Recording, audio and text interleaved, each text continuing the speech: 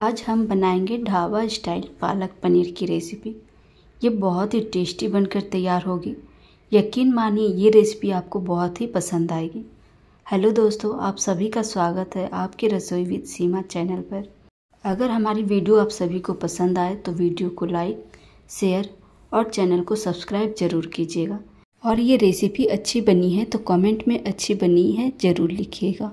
पालक पनीर बनाने के लिए मैंने यहाँ लिया है 500 ग्राम पालक। इसे मैंने धो लिया है और धोने के बाद यहाँ मैंने कढ़ाई में पानी उबलने के लिए रखा था। जब पानी में एक उबाल आ जाए तो इसमें हम धोए हुए पालक को डाल देंगे। अगर ज़्यादा है तो इसे दबा दबा कर डालिएगा, जिससे सारे पालक एक ही बार में उबल जाए। तो पालक को हमें दो मिनट के लिए पकाना है। दो मिनट बाद हम इस पालक को निकाल लेंगे और इसे हम ठंडे पानी में डालेंगे। ठंडे पानी में डालने से ये होता है कि इसका कलर चेंज नहीं होता है। ठंडे पानी में डालने के बाद इसे हम रहने देते हैं जब तक ये ठंडा हो जाएगा। तब तक हम यहाँ कढ़ाई में सरसों का तेल डालेंगे। जब तेल गर्म हो जाए तो इसमें डालेंगे हम जीरा और जीरा को चटकने देंगे। जब जीरा चटक जाए तो इसमें डालेंगे दो से तीन हरी मिर्च को मैंने बीच से कट कर लिया है और साथ ही में डालेंगे यहाँ पर आठ से दस लहसुन की कलियाँ। यहाँ मैंने एक गांठ लहसुन लिया है और इसे हम भून लेंगे एक मिनट के लिए। इसे भूनने से लहसुन में अच्छे टेस्ट आएँगे पालक पनीर में। और साथ ही में डालेंगे यहाँ पर मीडियम साइज़ का मैंने यहाँ एक प्याज लिया है। सभी को हम एक से दो मिनट के लिए भूनेंगे।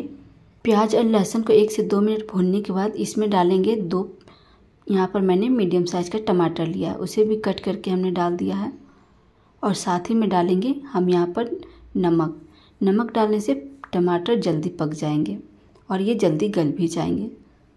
तो इसे हम मिक्स कर लेंगे और मिक्स करने के बाद सभी चीज़ों को और एक से दो मिनट हम इसे पका लेंगे। या फिर टमाटर जब तक गल नहीं जाता, तब तक हम इसे पकाना है। जब तक इधर टमाटर और प्याज पक रहे हैं, तब तक हम पनीर को छान कर निकाल लिया है और ये ठंडा भी हो चुका है। अब एक मिक्सी जार लेंगे और सारे पालक को हम मिक्सी जार में डालकर पीस लेंगे। इसे हम दो बैचों में पीसेंगे क्योंकि पालक थोड़ा ज़्यादा है। पालक हमने पीस कर तैयार कर लिया है और जो हम टमाटर और प्याज को भून कर रखा था, वो भी अच्छे से पक गए हैं। तो अब इसे हम मिक्सी जार में डालकर पीस लेंगे और ये देखिए हमारे मसाले पीस कर तैयार हो गए हैं।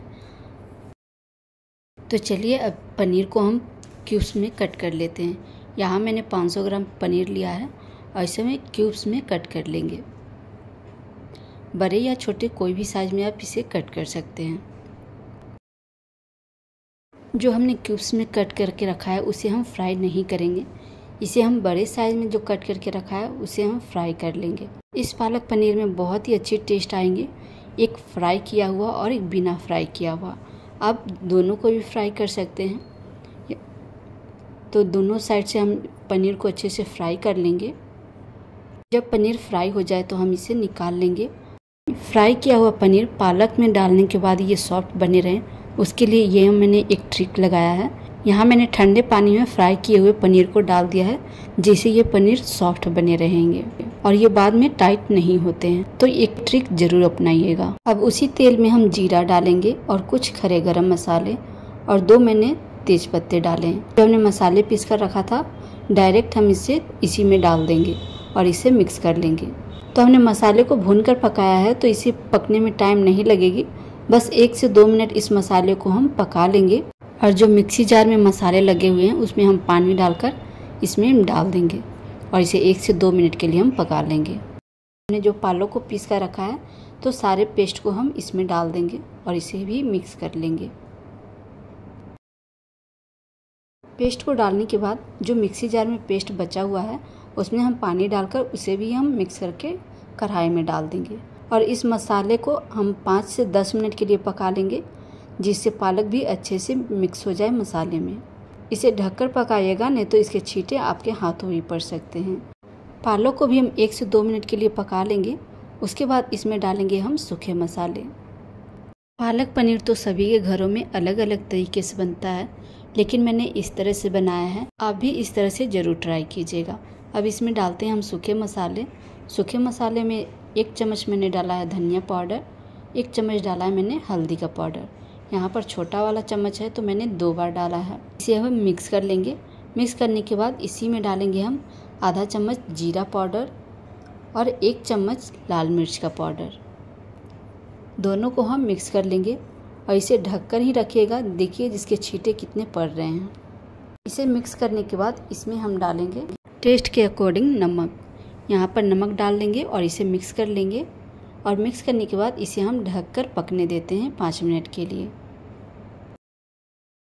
यहाँ पर पाँच मिनट हो गए हैं तो हमने जो पनीर को कट किया था, उसे में हम डाल देंगे पालक में और इसे मिक्स कर लेंगे।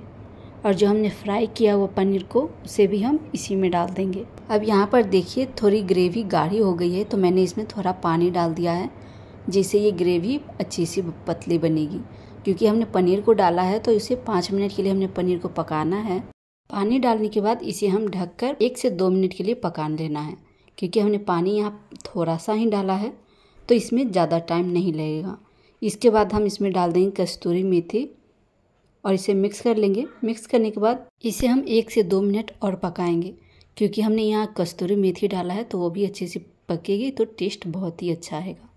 अब इसमें हम डाल देंगे थोड़ा सा धनिया पत्ता और इसे हम मिक्स कर लेंगे। तो लीजिए ये हमारे पालक पनीर तो लीजिए ये हमारे ढाबा स्टाइल पालक पनीर बनकर तैयार हो गई है। अब इसमें मैंने थोड़े से घी में काश्मीरी लाल मिर्च डालकर इसे गरम कर लिया और इसके ऊपर डाल दिया है, क्योंकि ये देख, डाल दिया है और ये देखने में देखिए, और ये देखिए कितने अच्छे बनकर तैयार हुई है।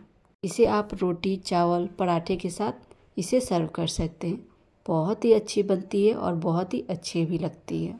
तो फ्रेंड्स, अगर हमारी वीडियो आप सभी को अच्छी लगे तो वीडियो को लाइक, शेयर और सब्सक्राइब ज़रूर कीजिएगा। और कमेंट में ये ज़रूर बताइएगा ये कैसी बनी है। और इस पालक पनीर को मैंने पराठे के साथ सर्व किया है।